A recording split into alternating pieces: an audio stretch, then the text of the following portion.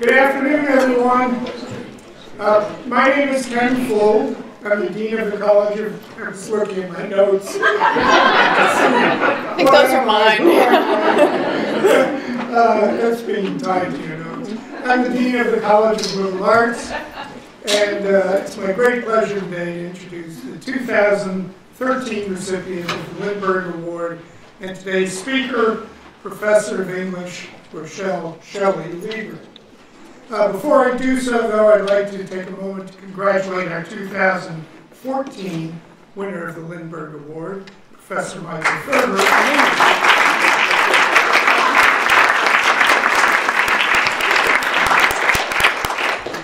Professor Lieber earned her bachelor's degree at Vassar College and a PhD at MIT and was appointed to the UNH faculty in uh, 1981.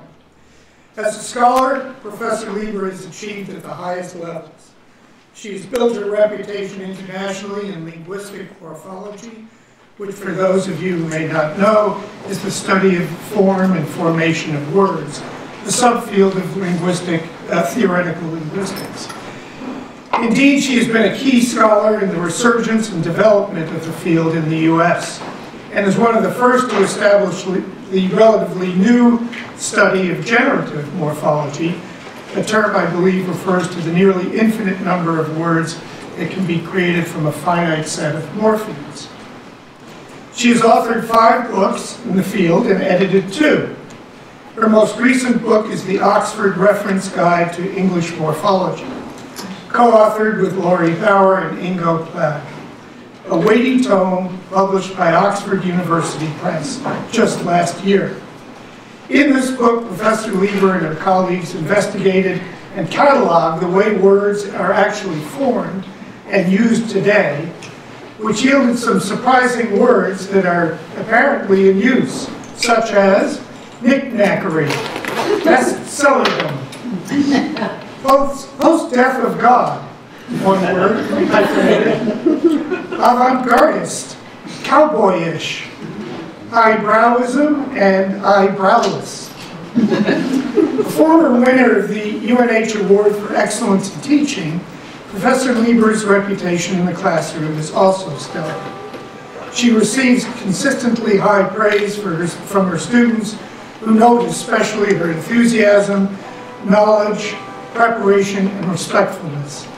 They repeatedly applaud her for her ability to make a difficult subject fun, understandable, even joyful, so much so that one student notes, I remember being upset when class time was over. I've never felt that way about a class. for her outstanding work as both a scholar and a teacher, Professor Lieber has been recognized with the Lindberg Award, the Overallness Award, for can-doism in the college. Her lecture today, entitled Confessions of a Morphologist, or How I Learned to Stop Intuiting and Love Data, is sure to stimulate you, despite the warning from Alec Marantz, a linguist from NYU, who once wrote, quote, when morphologists talk, even linguists nap. Join me in welcoming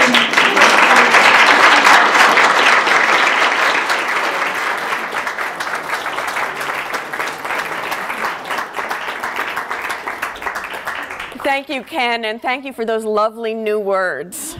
I'll write them down, and thank you all for coming. I have to uh, learn to talk and use a clicker at the same time. I'll try. Uh, so I'm going to start this talk with a disclaimer.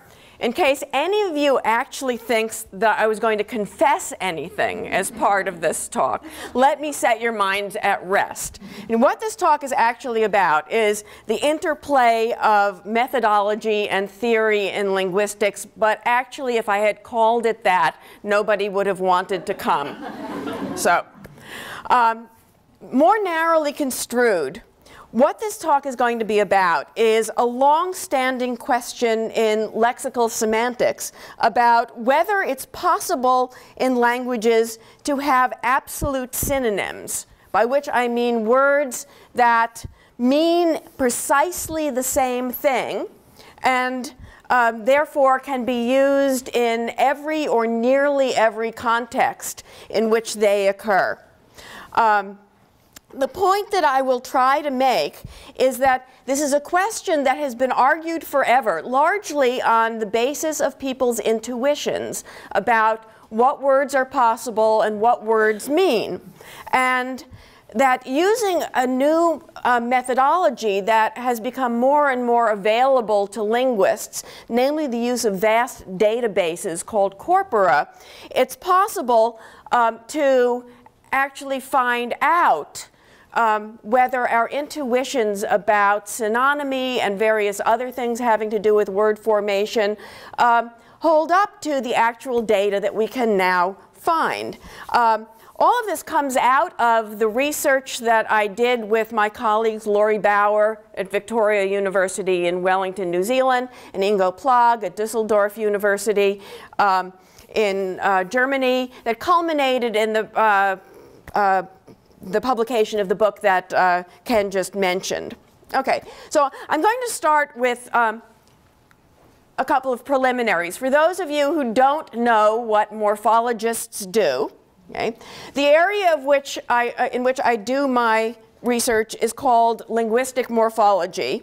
And narrowly viewed, it has to do with how native speakers of language uh, form complex words from smaller pieces that we call morphemes. For example, how it is, if we need to, we can come up with a word like non-reconstitutionalized, which is made up of seven meaningful parts that are put together according to um, a certain set of rules which we know implicitly.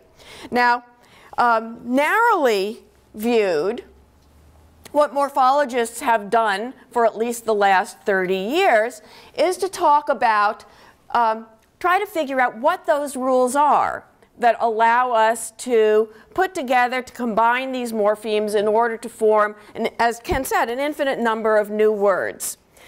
In recent years, some of us have begun to take a broader view of what morphologists ought to be doing Namely, that rather than just focusing on the rules which allow us to put morphemes together, we ought to look at the mental lexicon as a whole, which of course contains those rules, but also allows us access to words that we store already formed, that we um, are able to um, call up out of our store of memorized words.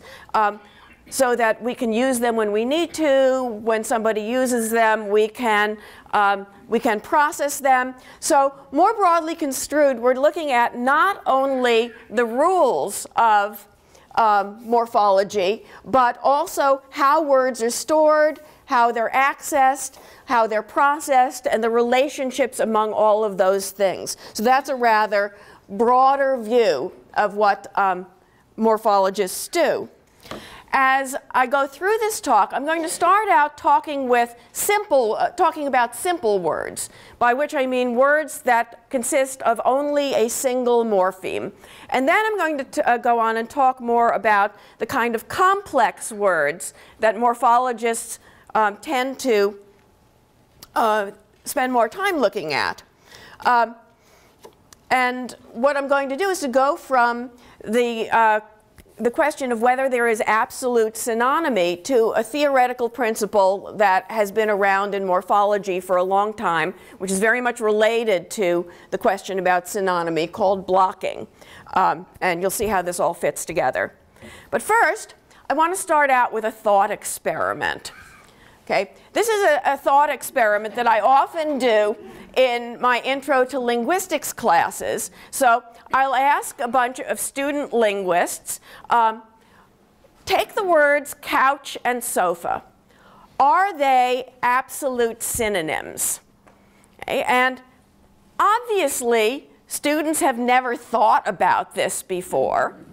Okay, and everybody knows that both of these words denote an item of furniture, generally upholstered, seats more than one person. Okay? But you ask students, are these words synonyms?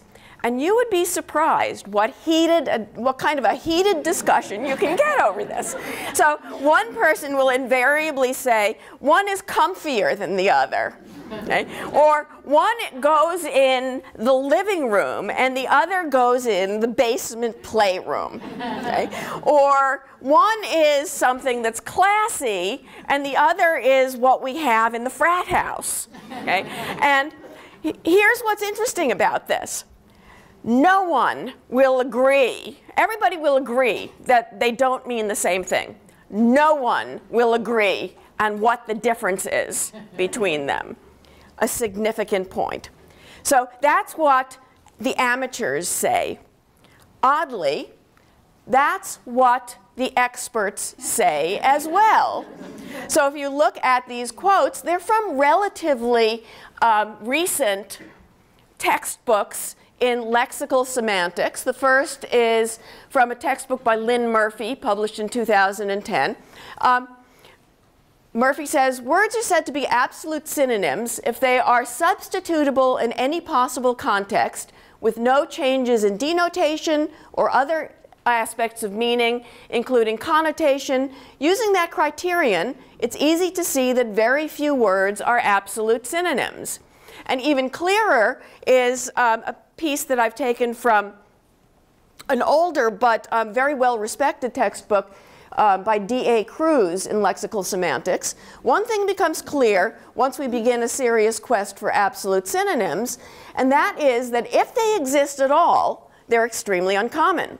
Furthermore, it would seem reasonable to predict that if the relationship were to occur, it would be unstable. There is no obvious motivation for the existence of absolute synonyms in a language, and one would expect either that one of the items would fall into obsolescence or that a difference in semantic function would develop. Okay, so we have agreement on this. Um, we shouldn't find absolute synonyms. Okay, at this point, I want to change gears just briefly and talk about methodology. You'll see how this all comes back together again.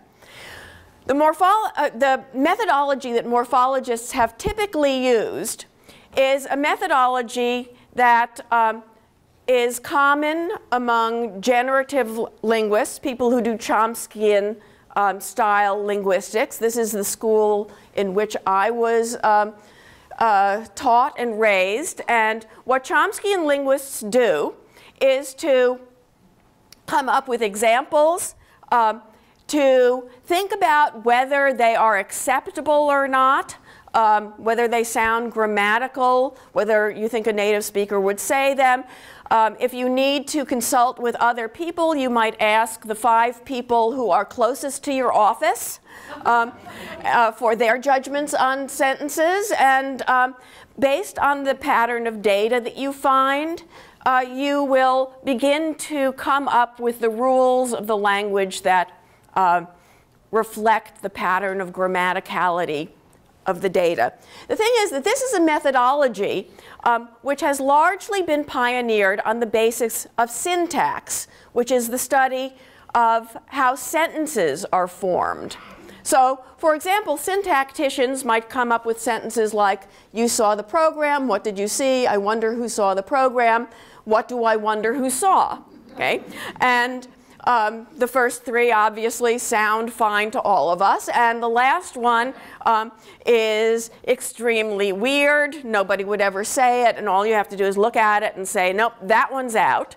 And then if we're trying to come up with rules for question formation in English, we might try to figure out what it is about sen uh, sentence D that makes it weird and impossible.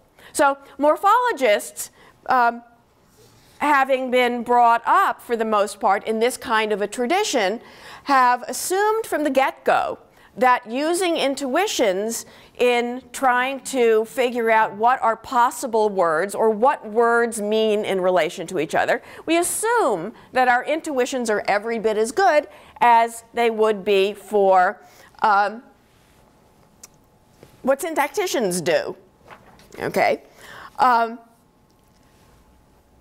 but at a certain point, you begin to wonder whether that's the case. And these days, we have a way of testing whether our intuitions really are as sound as we believe they are. What we have at our, at our disposal, as I mentioned very briefly before, um, are things that are called corpora. Okay, so a corpus is a vast collection of snippets of texts or spoken language that can be searched in various, so they're all, uh, they're uh, digitalized, computerized, and they can be searched in various fairly, fairly complex ways. Uh, corpora have been around for at least 20 years, if not longer. But for many years, they were, first of all, proprietary. In other words, you had to pay to use them. And second of all, uh, you had to have a certain level of uh, programming expertise to be able to fish out of them what you wanted to use. Now, what changed in uh, 2008 was that a fellow whose name is Mark Davies, who's a professor at uh, Brigham Young University, made available, freely available on the web, a number of corpora, foremost among which is called the Corpus of Contemporary American English.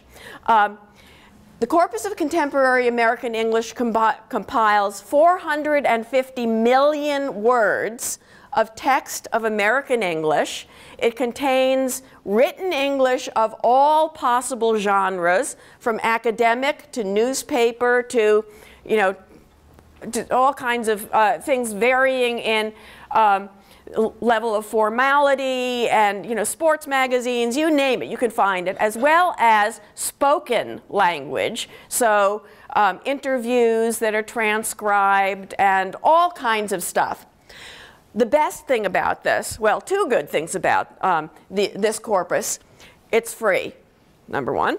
Number two, Davies created an interface that is so easy to use that even I can use it. okay? And if you, all you need to know are a few tricks, and by using this corpus, you can find out nearly anything you want to know about how people form new words in English. Um, there's a similar corpus available for British English, also with the same user interface. Um, I don't use it as much because it has only 100 million words.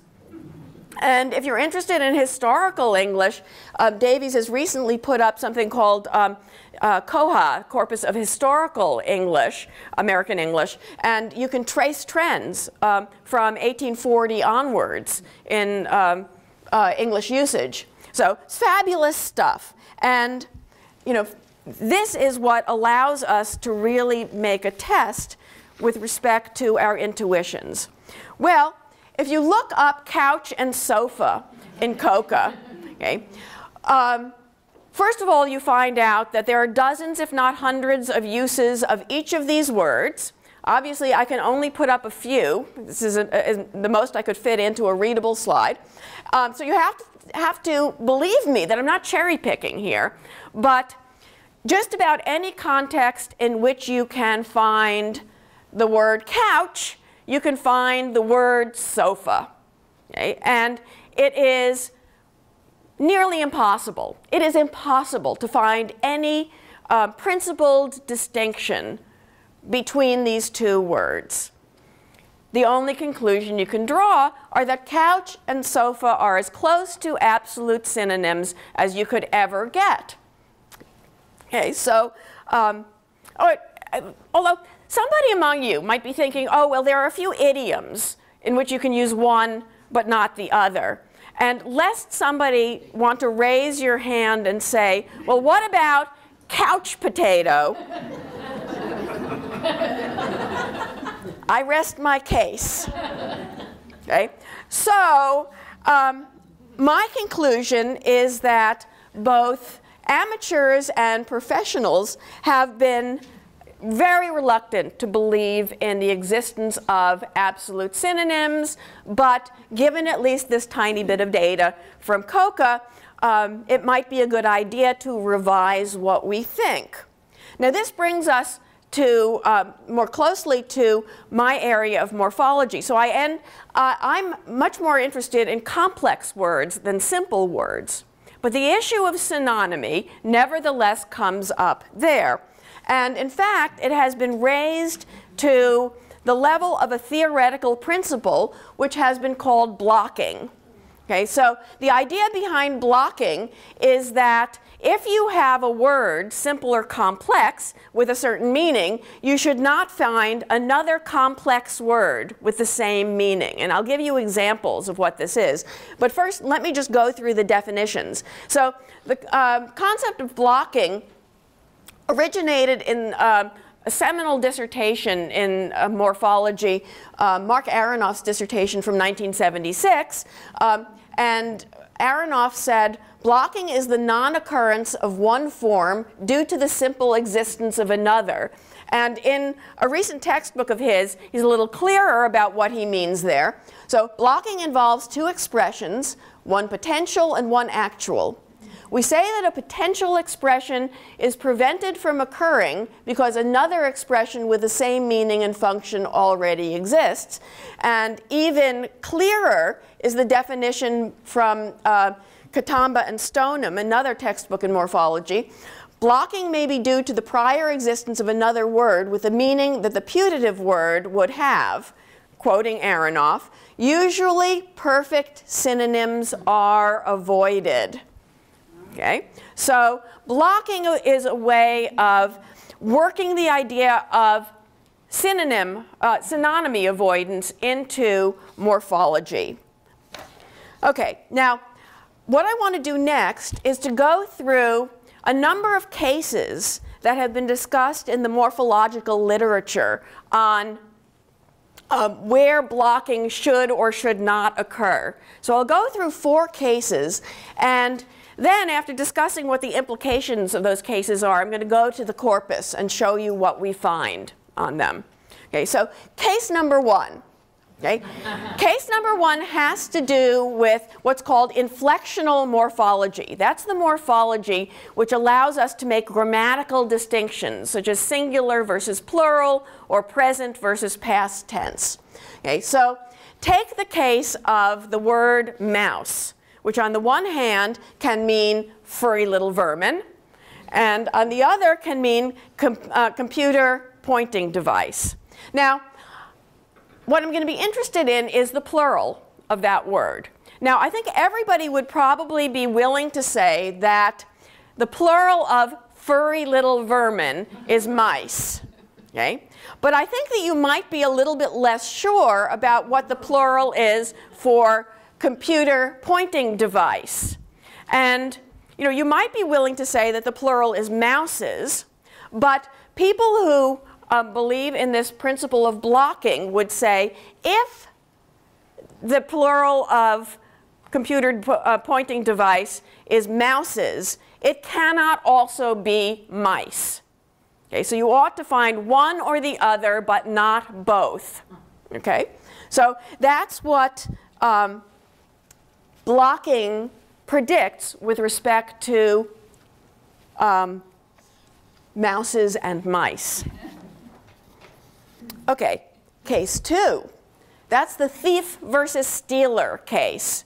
So another version of blocking has to do not with inflectional morphology, but what's called derivational morphology.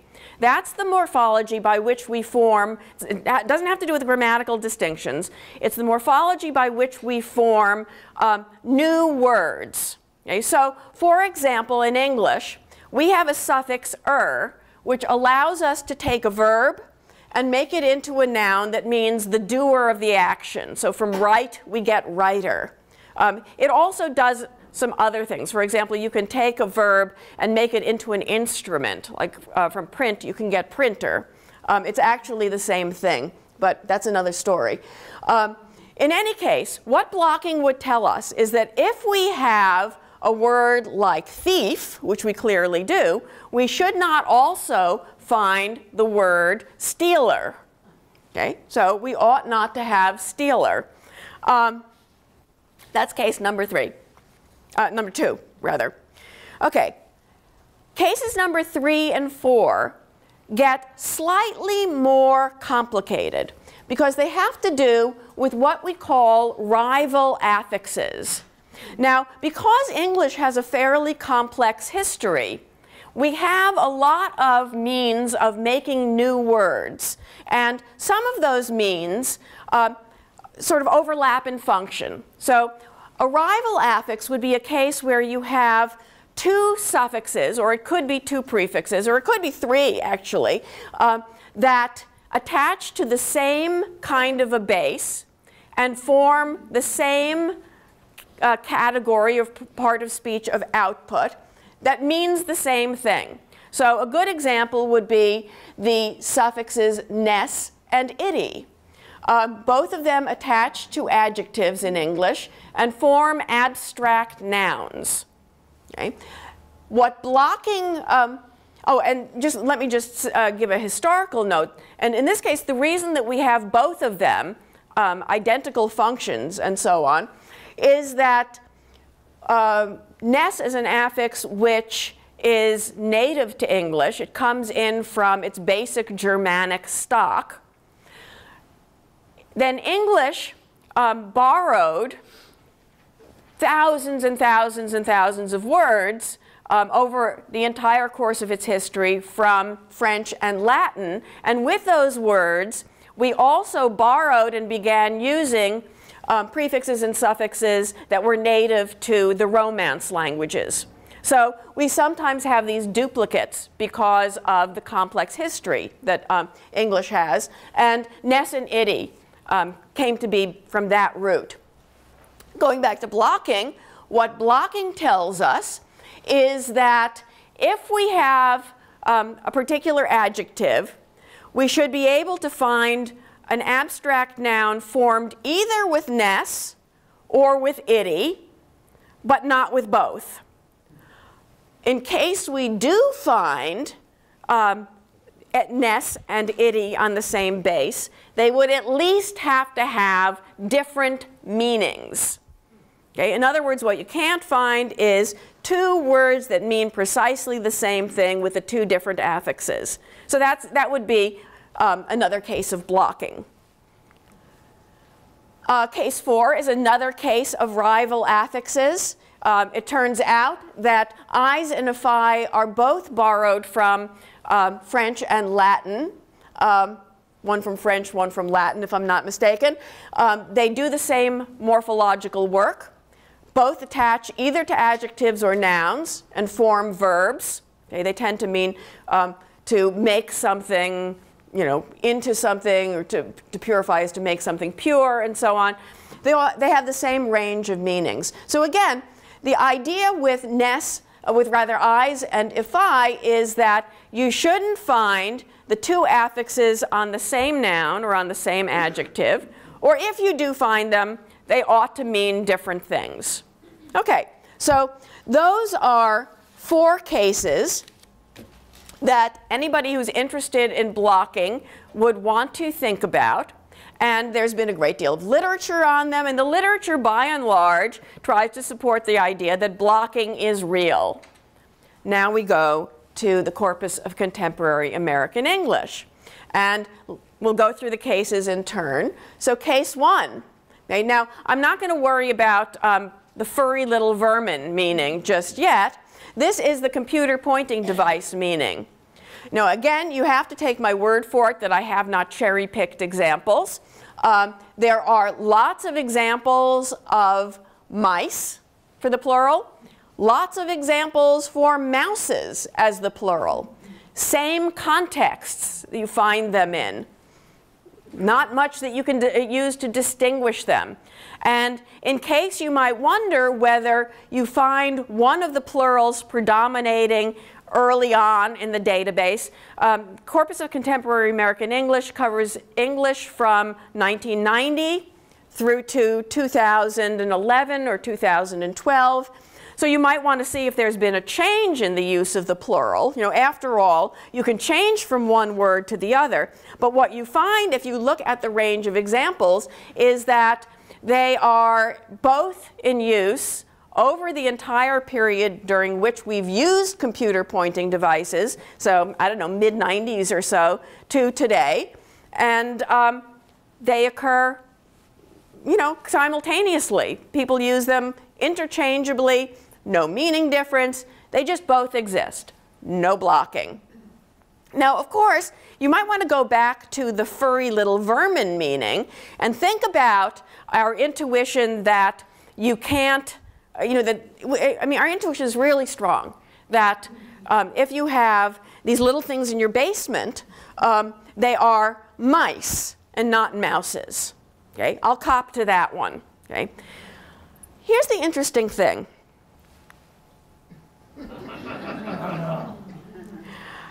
there are at least some contexts in which, at least when we're talking about cartoon vermin, um, we have a very strong intuition that the plural is mouses. So if you go to Disneyland and there are a bunch of these guys running around in costumes, you might say to your six year old, Look, look at all the Mickey and Minnie Mouses, right?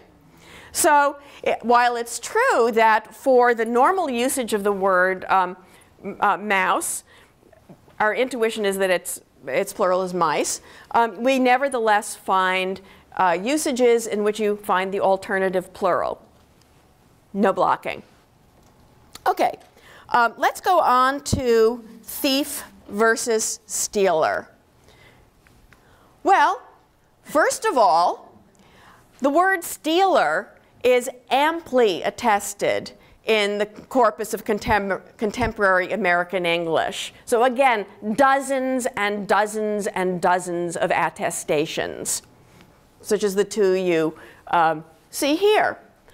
Uh, now, somebody might say, okay, we find stealer, but maybe we find stealer in the context in which it's followed by a prepositional phrase with a preposition of. Because the two examples I've pulled there, a stealer of dreams, um, the greatest stealer of other people's stories. And you'll notice that the word thief, which uh, occurs alongside stealer, um, is just occurring by itself, syntactically isolated. So somebody might say, okay, well, maybe the word stealer exists, but at least in terms of syntactic context, it might be distinguished. That is not true. because on the one hand, you can find stealer um, independently with no modification except for um, an indefinite article, and then you can find a thief of. So again, there seems to be no difference, and there's certainly no difference in meaning. Um, again, you'll have to take my word for it, but if you look through all of these, the meaning is um, by and large the same. Okay? Or let me be a little bit more, um, a little bit stronger about that. It's the same.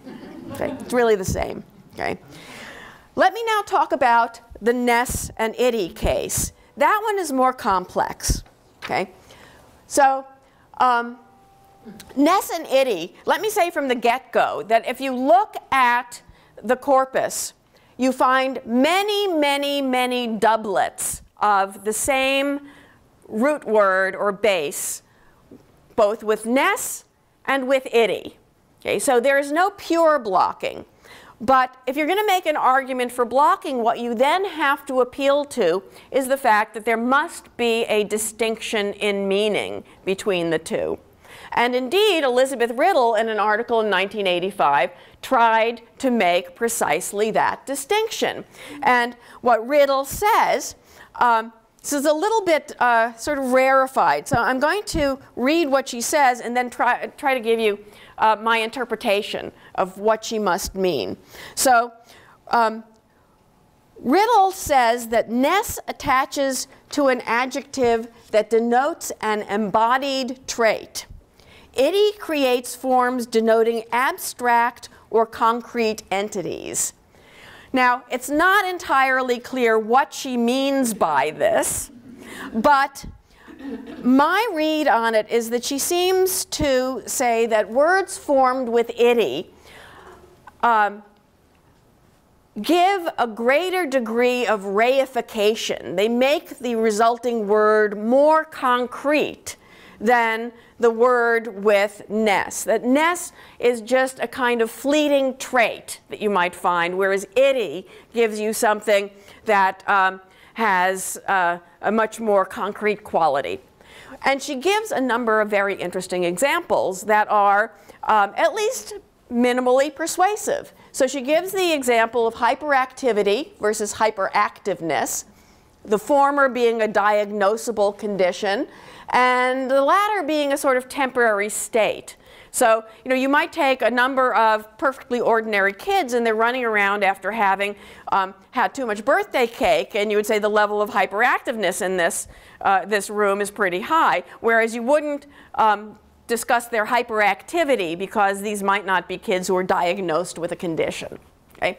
Similarly for ethnicity versus ethnicness. So ethnicity is the state of belonging to a particular group the latter a superficial property or quality. So you might go into somebody's um, house and look at the decor and say, oh, I like the ethnicness of this um, decor, whereas you wouldn't say the ethnicity of this decor.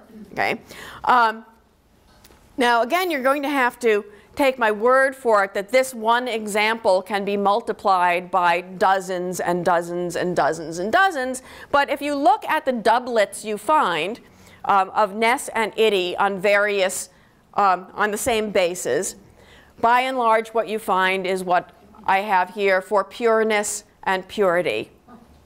Absolutely no difference in meaning. And um, in the Oxford Handbook of uh, um, English morphology, um, in order to establish this, we came up with pair after pair after pair. So um, I'm, I'm quite certain that uh, the predominant data that you find in the corpus is that there are pairs of words, and where there are pairs of words, they mean the same thing.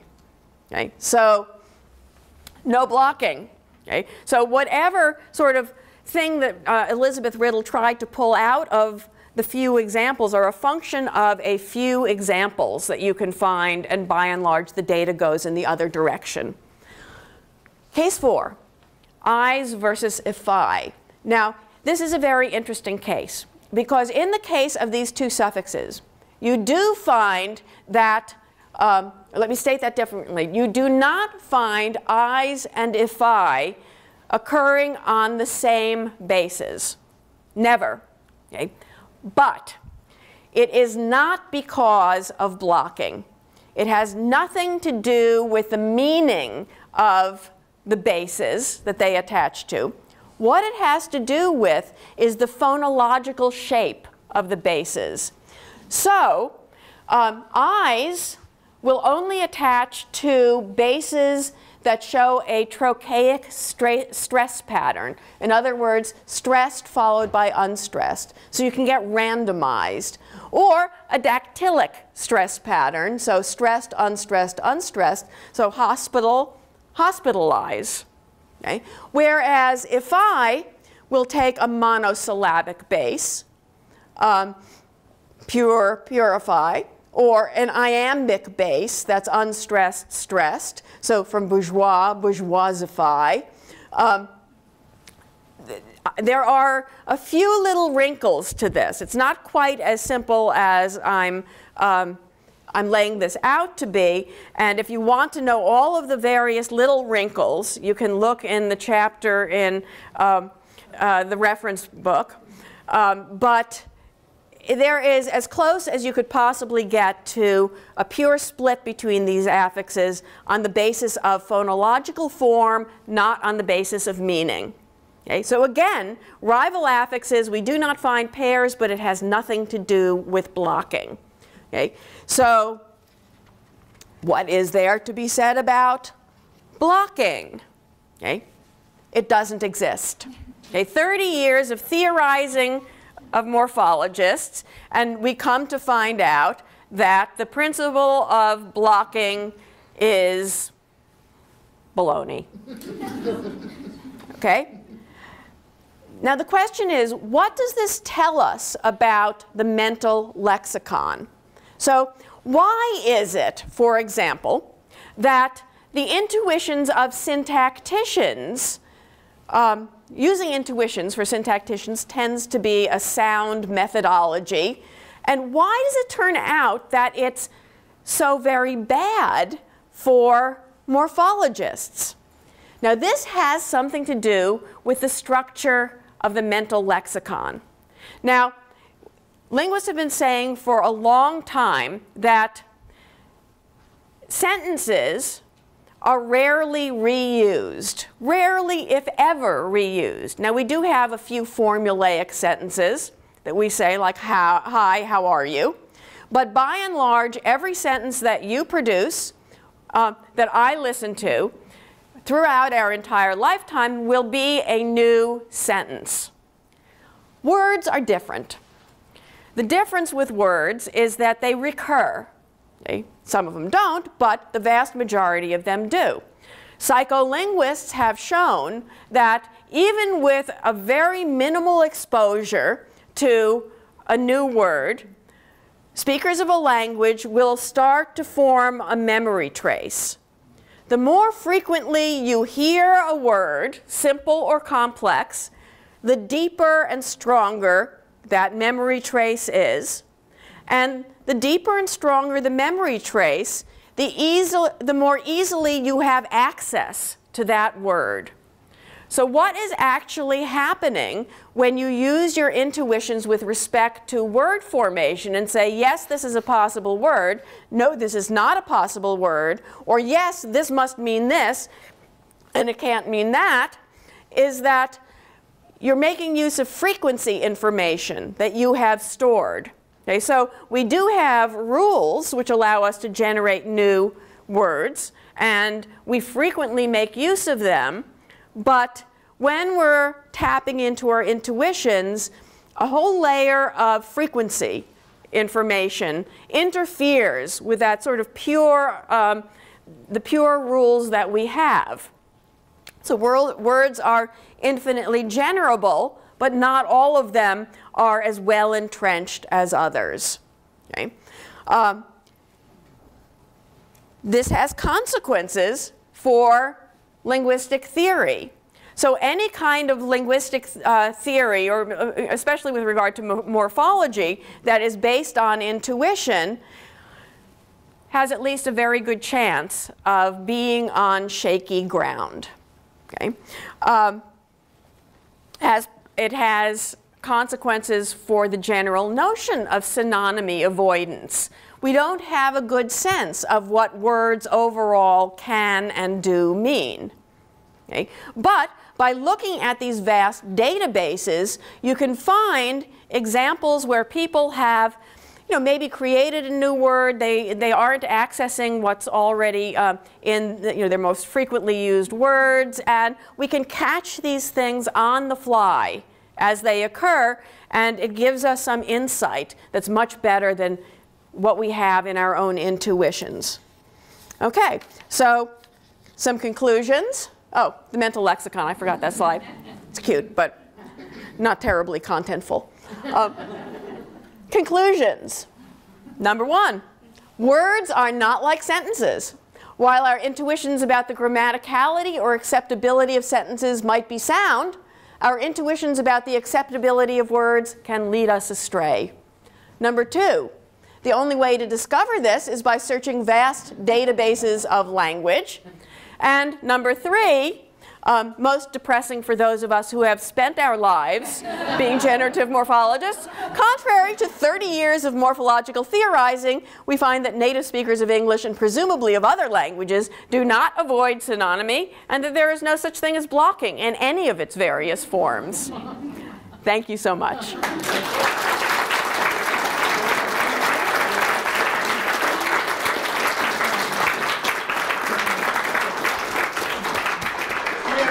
Questions, and incidentally, if you fell asleep, you're, you're either a linguist or you're crazy. that was a wonderful show. We've all been Lieberized. so, questions? Mark. Um, I'm hesitating because I, I'm not sure what the proper suffix is, um, but um, have sin tacticians, I want to say. Yeah, right? Syntacticians, have they been studying the corpora also? They're more reluctant to do so for obvious reasons. Okay, and, and the reason is this. It's hard enough to fish out, you know, for example, um, in order to do the book that we just finished, I spent six months going through the corpus, coming up with a file of every affix in English, every prefix and every suffix, and all of the words that occurred in the corpus. Now, the corpus is not tagged to do that. You have to, by brute force, go through and do a string search and weed out all of the junk, and um, let's just say six months hard labor. Okay? Sentences are even harder because trying to figure out how to look for such and such a construction is tricky. So have do, uh, there are some syntacticians who realize that this is an issue, that it ought to be an issue for them, but the methodology is so difficult that um, figuring out how to do it, you know, is, is even trickier than it is for morphologists. So yeah, they ought to do it because I'm actually not so sure that intuition, syntactic intu intuitions are so good. All you need to do is to sit through my syntax class, all you guys out there, and listen to my students saying, I can't get that. Yeah. You think that's okay? No, that's not okay. Am I right, guys? Yeah. Okay. Yeah, Grace? Um, Yes, having grown up knowing that nature, does, you know, abhors a synonym, mm -hmm. you know, my head has just turned around here. Um, I was wondering, and this is kind of beyond the scope of what you presented here, but um, the fact, you know, growing up thinking that synonyms are against the law meant having a certain kind of concept of cognitive functions. Mm -hmm. So once we realize that blocking doesn't exist, mm -hmm. then does that have cognitive implications? In other words, brain works differently, or I know we're getting beyond. Hard to tell. And, you know, this is the purview of, of psycholinguists, and the kind of testing that goes on is very tricky to do. Um, I mean, I work with, with these guys sometimes. Um, you know, what it suggests is that um, the mental lexicon is far more capacious than anybody might have imagined. Our ability to both store and generate words according to rules is far more complex and intertangled than you know, we would have thought simplistically even 10 years ago. But teasing these things out um, is devilishly hard. And the, um, the early psycholinguistic kind of testing um, relied on what's called reaction time experiments, and there are all sorts of problems with reaction time experiments. More recently, people have been experimenting with eye tracking experiments where they see how people um, how people's eyes fix on words and it gives them a clue to how they're accessing words. So it's fabulously interesting stuff. Okay? You know, if I were a new um, PhD minted, I would be all over that stuff. Okay? But, and I think people's views are going to be changing, you know, over the next, um, you know, 25 years radically on this. Um, Marino. I have a quick question. Maybe it's amateur time, but so I understand why intuitions about uh, words are unstable, right? Because because of this frequency judgment. But the, the corpora is fairly young, and wouldn't it, wouldn't it also be unstable because it depends on what's been written and what words come into the language recently and what don't? don't doesn't the yeah, corpora reflect what we... Okay, so let's put it this way. It's all a crapshoot. Okay? So we're dependent on what it is we find in, in the databases. For many of the things we're looking at, we're looking at rare occurrences of things. The fact that we have 40 million words okay, allows us to have a better chance at finding these things out than if we had um, 4,000 words, say. Uh, there are you know, people who try to do this research, for example, using the web, where you have billions and billions of words. That is, um, that's a little iffy because you get lots of non-native speaker English in that, and you don't know what to make of it. But you know, if you're sticking to American, you know, corpus of contemporary American English, um, it's a little bit, uh, it's a little bit less fraught in that way. So, you know, everything is dependent on how large a set of data you can search. The larger the set of data, the more confidence we can have in um, our interpretations. So, as of two days ago, twerk was not in the COCA. And we accept that it's a word now, right? The the Dialect Society has voted on it, and it's, it's a good word. Yeah, and twerk will show up next year. Okay. Yeah. So enough people have to write it down before we can, uh, Not necessarily, because COCA captures spoken language too. It just so happens that it hasn't been. So you um, you searched twerk? yeah. Did you uh, did you search um, twerked?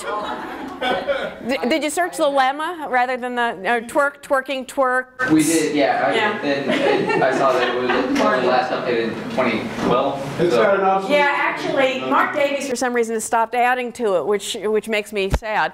Um, but yeah, you know, you. Um, it, it might have it might have something to do with the fact that he stopped um, updating it a couple of years ago. Yeah, um, yeah. Don't, don't you think that in some cases, at least the fact that there are, uh, I'm thinking of your, your mouse, mice, uh, mouse, mouses examples, that it really is still in flux. I noticed, it was interesting to me that the two cases that had mice were from, one was from uh, Good Housekeeping, mm-hmm. the other one was from uh, an education environment, and without intentionally dissing secondary education and so forth, I would mm-hmm. think that they were more into the pedagogy and not as aware of the technology. And bear with me, because mm-hmm. your other two examples with mouses, one was an IBM quote, the other one was CBS, that was probably somebody who knew something about the field that he was reporting on. Yeah, I didn't check for the provenance of the sources, but I don't think it would be significant. It just, um, you know, I think that just happened to be. So I don't think that there's any difference in where these are used. You know, all language is always in flux. So it could be that this sorts itself out 20 years That's from really what I'm now. saying, though. It'll Yeah. settle down, and then you will not have these two possibilities. But the thing is that we have had stable doublets uh, of inflectional, inflectional pairs like dived and dove that have maintained their existence over decades. And we, we've looked at this phenomenon. So, you know, it could be that it changes, but there's evidence that it doesn't have to. Yeah. Grover? Did Warren Harding commit a morphological sin when he created normalcy? Or are there any morphological sins? No. There are no morphological sins. There are only people who fuss about whether it's in the dictionary or not. And since nothing I'm interested in, you know, no, none of these words that tell us, these rare event words that tell us about how the language actually works, they don't get into the dictionary pre- precisely because they are rare events. You know, so anyone who, who says, I won't consider it unless it's in the dictionary, is actually studying history and not linguistics. Yeah. Um, yeah, Alistair.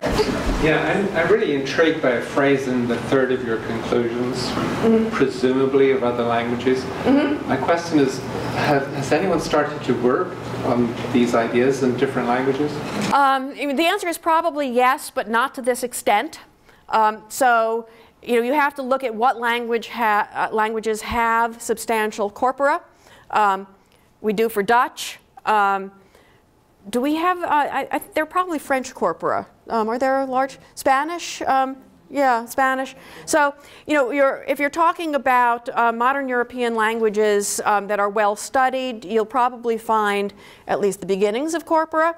Whether people are doing this kind of morphological research, nobody else has published as widely on this. So I expect that um, when people read this book, they'll say, you know, oops, we've got to do this for you know, Dutch and French and whatever, and revise what we think. Certainly, when we get to you know what we might call more um, exotic languages, um, even well-studied ones like Tagalog or Mandarin or Thai or whatever, um, you know, the answer is that there's so little. You know, even even for well-studied languages, there's so little in-depth work that we don't know. But you would assume that if English works this way, every other language is likely to work this way as well.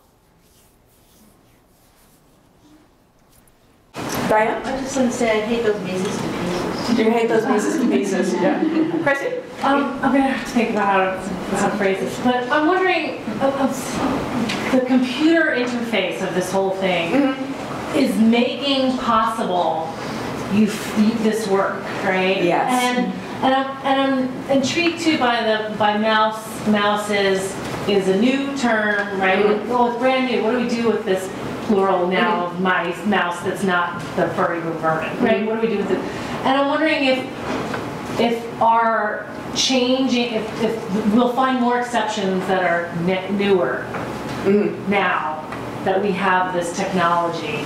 Well, we'll find that there have been these exceptions all along. That's what I'm wondering. Yeah, that's the one. And, and will this, will this create more exceptions now? No, I mean, lang- my, my take on this is that the language works this way. You know, this is like the, pr- the principle of uniformitarianism. You know, it's always worked this way. It always will work this way. It's just that we don't, ha- we have not yet had the ability to, to see it. So, you know, presumably, if um, if you take um, all of the variants of all of the Shakespeare texts and do searches of this sort, you're going to find a certain amount of variation. That's you know, that's what these people do is to try to figure out what the, you know, the um, the echt text is, you know, and probably the answer is, you know, it's not.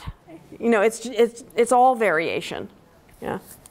Um, yeah, Andy. A couple of quick things. I- On, on, on the mouse vermin issue, um, seems to me that when you are talking of Mickey Mouse and Minnie Mouse, you are using mouse as a family name, as a proper noun.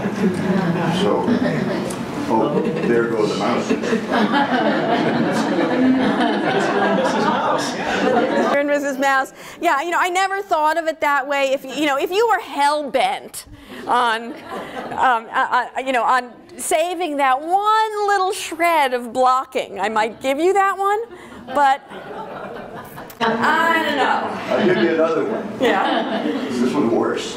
Uh, a shudder. Yes, an, an absolute difference between sofa and couch. You cannot say so near and yet couch. Oh,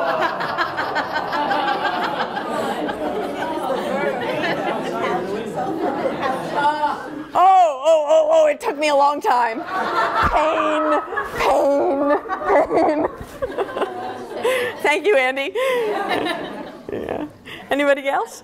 I bet you didn't, you didn't self it out in the right terms. What what would you say about the uh, studies of child language acquisition that seem to suggest a role of blocking in children's learning of the meanings of words? It's a, fre- it's a frequency effect. So you, you acquire the rule, and then, um, you know, by virtue of hearing mice, mice, mice, mice, not mice, and not having mouses. I'm thinking of Yeah. a different thing where the, uh, I mean, of course, all I know is what I've read about, you know, Yeah, introductory as text. I, yeah. But um, uh, the experimenters give the children a set of objects and they, they they call them by some nonsense word. So they say, these are all dishes. Yeah. And then they, they get, now they mix in some other, different Mm-hmm. sort of objects, and they say to the children, now find me the, the blancs. And the children will get the ones that have not been called uh, glitches. Mm-hmm. And the explanation I've always seen of that is that, you know, it is because of this blocking effect that they assume, I know what a gish looks like. That's not and so a- yeah. look for the one. It's, uh, that's not actually blocking. That's what's called the, um, uh, the lexical contrast principle. You know, so it, it comes out of Susan Carey's research, and she does not call that blocking. Blocking is specifically morph- morphology. So it's actually something else. That, that clearly exists. You know, yeah. Yeah, Christina. Shai, I'm wondering, um, you mentioned that this corporate, that- that he stopped collecting. So I'm just kind of wondering, what are the implications of that, or are more of these kind of sites emerging? Well, I, you know, I actually, um, I, I have, I am actually worried that he's not adding more to this because I was sort of banking on this. He, for a while, he was adding 20 million words a year. Um, and then all of a sudden it stopped, and he spent his time doing another. Um, he's, he's got another corpus that's called Globe, which is Global English. You know, also very useful, but for my purposes, not as useful. So I don't know what the deal is, whether it's a temporary hiatus or, uh, or what. But But it's one person and not, not even a research team or? it's a research team. Oh, it's a team. okay. Yeah, he's the, he's the PI. Okay. Yeah. Thank you, Shelley. That was wonderful. Thank you.